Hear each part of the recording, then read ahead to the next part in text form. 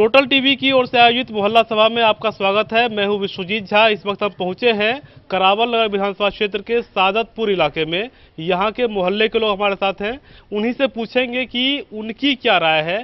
सरकार ने कहा है कि इस बार करावल नगर विधानसभा क्षेत्र में जो बजट तैयार किया जाएगा, जो खर्च का खाका खींचा जाएगा, उसमें यहाँ के लोगों की भी राय ली जाएगी। इन्हीं की राय से बजट तैयार किया जाएगा। कहाँ पर पैसा लगे क्या समस्याएँ हैं, लोगों से सुनेंगे और कहीं ना कहीं कोशिश करेंगे कि जो समस्याएँ हैं, वो सरकार तक पहुँचे ताकि उनका समाधान भी हो सके। हमारे साथ तमाम यहाँ के लोग हैं, आरडब्ल्यूए से जुड़े हुए लोग भी हैं, उनसे पूछने सर, आप अपना नाम बताएँगे पहले और किस गली में कहाँ रहते हैं वो भी बताएँगे, फिर समस्या मेरा नाम टीपी मिश्रा है, मैं रिटायर्ड हूँ।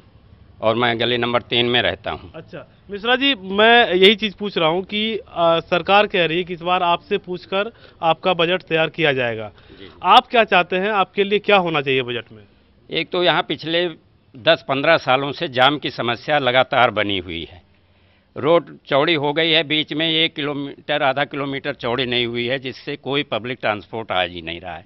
अगर वही आधा किलोमीटर अगर चौड़ा हो जाए तो पब्लिक ट्रांसपोर्ट आ जाए सादतपुर के दयालपुर से करावल नगर का क्षेत्र है। तो एक तो पब्लिक ट्रांसपोर्ट ना होने के कारण समस्या बहुत है ट्रांसपोर्ट की। बच्चे चाहे वो लड़कियाँ हैं चाहे बच्चे हैं चाहे बूढ़े हैं उनके लिए पब्लिक ट्रांसपोर्ट है ही नहीं। ठीक है। तो दूसरा एक है कि स्कूलों की समस्या बहुत बड़ी है। बच्चे नब्बे नब्बे सौ सौ एक सेक्शन में हैं।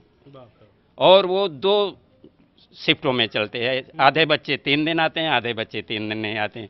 तो वो पढ़ाने के नाम पर उनको सिर्फ़ घेर कर रखा गया है है।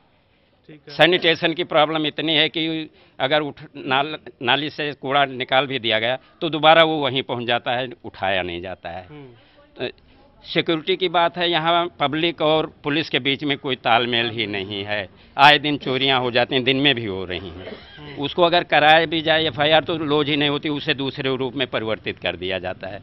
तो कहने के लिए कुछ है कुल मिलाकर के यहाँ कन कन्वीनियंस या कोई फैसिलिटीज़ पब्लिक फैसिलिटीज़ है नहीं। सीनियर सिटीजन के नाम पर कोई कुछ ही है नहीं पार्क ही नहीं है। कहीं उनको उठने बैठने की जगह ही नहीं है। हम्म, तो चाहे वो बच्चे हों चाहे वो युवा हो कहीं स्कूल नहीं है कोई। हम्म, तो चाहे वो बच्चे हों चाहे युवा हो चाहे लेडीज़ हों चाहे सीनियर हों सुविधाओं के नाम पर यहाँ नील है। तो कुछ है ये नहीं। तो ओवरऑल समस्या हुई। आपको क्या लगता है कि आप जिस गली में रहते हैं वहाँ पर भी क्या ऐसी कोई छोटी मोटी समस्या है जो कि लगता है कि आपके बजट में इस बार शामिल किया जाए तो वो शामिल करना आसान भी है और उससे समस्या अच्छा सफ़ाई की समस्या तो हर जगह है हर गली में है हर कोने पे है। खासकर ऐसे मकान के कोने पे जो अभी तक खाली है उन मकान के कोनों पे लोग कूड़े डाल रहे हैं और काफ़ी दिन तक कभी कभी तो बहुत दिन तक उठाए नहीं जाते। दूसरी समस्या ये है कि कुछ यहाँ के गली बहुत पुराना उन्नीस सौ चौरासी तिरासी में लोगों ने कुछ प्लॉट ले लिया हाई टेंशन तार के नीचे। तो उस समय तो ये उनको बरगला के बेच दिया गया कि आप ले लीजिए दस दिन पंद्रह दिन एक महीने में ये सब हट रहा है। और लोगों ने अपनी ज़िंदगी भर की कमाई उसमें लगा दिया। आज तक वो उठ नहीं रहा है। तो हम तो यही चाहेंगे कि अपने विधायक से सरकार से कि जो हाई टेंशन वाला है जिसको बहुत गरीब आदमी जिसको उसके नीचे घर बना लिया किसी तरह से अपना जुगर बसर करके पेट काट के अब उनको सरकार अपनी तरफ़ से कहीं कहीं कई कुछ इलाकों में हट भी गए कार हैं। को शिफ्ट करना जी जी कुछ इलाकों में हट भी गए हैं। तो इनके जो अब उनके पास रोजी रोटी का अब कोई साधन भी नहीं है। बहुत आदमी रिटायर्ड भी हैं पेंशन ही सहारा है। और पेट काट के उन्होंने बनाया है तो सरकार इस ओर ध्यान दे। और विधायक जी से मेरा यही अनुरोध है कि इस ओर बहुत दे, उनका, हालाँकि मिश्रा जी का, कपिल मिश्रा जी का कहना है कि करावल नगर क्षेत्र को एक आदर्श विधानसभा क्षेत्र बनाने जा रहे हैं तो हमारा यही आग्रह उनसे रहेगा कि इस ओर विशेष ध्यान दें। सर आप कहाँ रहते हैं? और नाम भी पहले बताएँगे एक बार नाम बताइएगा। और किस गली में रहते हैं? मैं विजय कुमार सिसोदिया गली नंबर दो में रहता हूँ। अच्छा। मैं विधानसभा करावल नगर के आधार पर एक बात कहनी चाहूँगा कि उत्तर पूर्व की आठ विधानसभा सीटों में से करावल नगर एक विधानसभा सीट है। इन आठ विधानसभा सीटों में एक भी केंद्रीय विद्यालय लड़कियों के लिए लड़कों के लिए नहीं है। करावल नगर विधानसभा में पुश्ते के नीचे मार्जिनल बाँध के नीचे और दिल्ली पुलिस के बराबर में इतनी जगह पड़ी हुई है जहाँ यूनिवर्सिटी कैंपस केंद्रीय विद्यालय लड़कियों का लड़कों का बन सकता है। लेकिन पिछले 20 सालों में 15 साल कांग्रेस की सरकार रही लेकिन एक भी विद्यालय नहीं बन पाया। उससे पहले भी सरकार रही।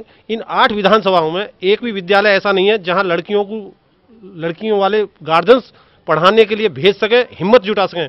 आधी लड़कियाँ ऐसी हैं पढ़ना चाहती हैं लेकिन उनको गार्जियंस असुरक्षा की वजह से भेज नहीं पाते। मेरा निवेदन है सरकार से जनप्रतिनिधियों से जो ये ज़मीन बहुत ज़मीन पड़ी हुई है यहाँ पे यमुना पार उत्तर पूर्वी कैंपस और एक एक लड़कियों के लिए लड़कों के लिए केंद्रीय विद्यालय और खजूरी लाल बत्ती पे जो हर वक्त जाम लगा रहता है अंडर सबवे बना जाए जो डायरेक्ट ट्रैफ़िक निकल जाए जिससे जाम की व्यवस्था से दीजिए। छुटकारा मिल सके। भजनपुरा का। मैं कहना कर रहा हूँ ये स- सादपुर में। हम्म, मैं कहना ये चाहता हूँ गली में कोड़ा निकालते हैं हैं उठाने नहीं आते हैं। काफ़ी घर के आगे नहीं। घर के आगे पड़े रहते हैं। मैंने खुद उठाया ये कूड़ा सुबह। ठीक है जी?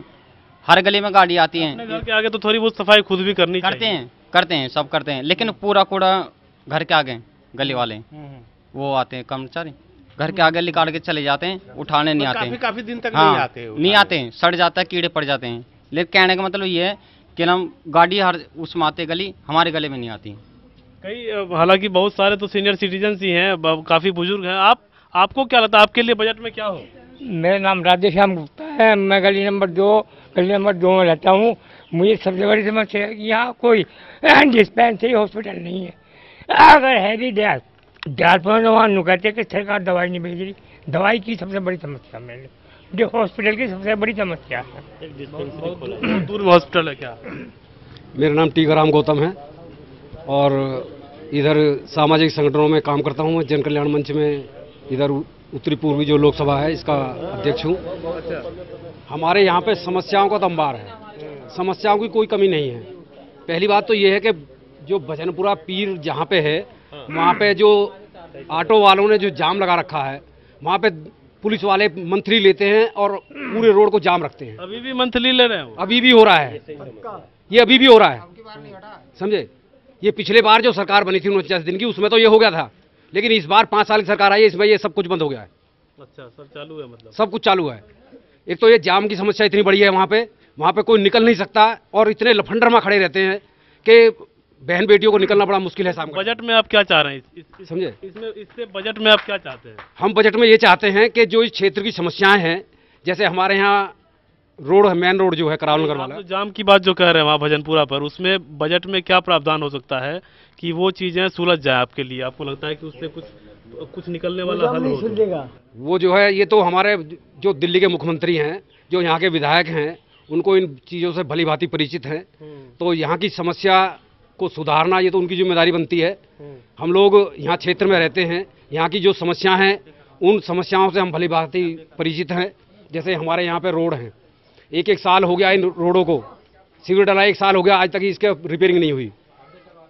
जो रोड खुदे पड़े हैं निकलने के लिए रास्ता नहीं है वो रोड बनने चाहिए। पानी की निकासी नहीं है वो पानी की निकासी सही होनी चाहिए। ग्यारह हज़ार की लाइन यहाँ से डली हुई है। इक्कीस साल बीजेपी का शासन रहा बीजेपी का विधायक रहा शासन तो कांग्रेस का रहा। तो उसमें जो है वो तार भी नहीं हट पाई। सन 2008 में उसका बज, नौ में बजट पास हो गया है हटाने के लिए अच्छा। लेकिन तब भी उसके ऊपर कोई कोई कार्रवाई नहीं। हुई। बजट में क्या चाह रहे हैं? बजट में चाह रहे हैं कि फेयर बजट बने जनता की हितकारी बजट हो जो आम जनता के लिए हो हमारा ट्रां, पब्लिक ट्रांसपोर्ट सिस्टम ठीक हो आम लोग जो चांदी चौक नई सड़क काम कर रहे हैं उनको आने जाने की असुविधा हो रही है। एक रुपये की जगह पर चार रुपये उनका खर्च हो रहा है इस पर ध्यान दिया जाए। और ट्रैफ़िक जो अनकंट्रोल लोग जो जो भी सड़क है उसको रोक के रखा गया है। सब्ज़ी लगा दी मार्केट लगा दिए दुकानें खोल दी उसको इंक्रोचमेंट को हटाया जाए। प्राथमिकता ये ध्यान दिया जाएगा तो ऐसे ही बहुत सी समस्याएँ हल हो रही है। यहाँ पे एक नंबर गली जो अग्रवाल से यहाँ तक आती है। इसमें विधायक ने पार्टीशन डाल दिया क्षेत्र के अंदर और यहाँ ना लग करके वो, वो बजट दयालपुर में लगा दिया। पूर्व विधायक ने? पूर्व विधायक ने। तो एज ए थोड़ी जो करप्शन दूर होगा। नहीं वही चीज़ मैं कह रहा हूँ कि इस बार इसलिए तो कहा जा रहा है कि लोगों से पूछ के तय होगा कि अगर कहीं नाले पे कवर नहीं किया गया है तो वो आपकी आप डिमांड रखेंगे कि ये पहले होना चाहिए क्योंकि इसमें दुर्घटना घटती है। तो ऐसी हम तो कोशिश पहले से ही कर रहे हैं और अभी भी करते रहेंगे। आगे दयालपुर का नाले का बैट इतना उठ गया कि यहाँ पानी रुका पड़ा है आप देख रहे हैं? पानी बिल्कुल नहीं चल रहा। वो कारण क्या रहा है कि विधायक ने जो करना कुछ करना था वो कर दिया। अभी भी हमने ये कहा था कि जो दिल्ली पुलिस में जो है एक पंप लग जा तो यहाँ का पानी खिंच के वहाँ चला जा। लेकिन कोई सुनवाई नहीं। सफ़ाई की व्यवस्था आप देख रहे हैं। हम्म, यहाँ के साधनों की व्यवस्था देख रहे हैं। अभी तक डीटीसी का जो है मेन रोड से कोई आना जाना नहीं है। एक दो बस चलती है। पब्लिक परेशान है। ऑटो वाले दस दस रुपये लेते हैं यहाँ से करवल नगर तक के। भजनपुरा से करवल नगर तक के। जबकि पाँच रुपये जो लगने चाहिए कायदे में।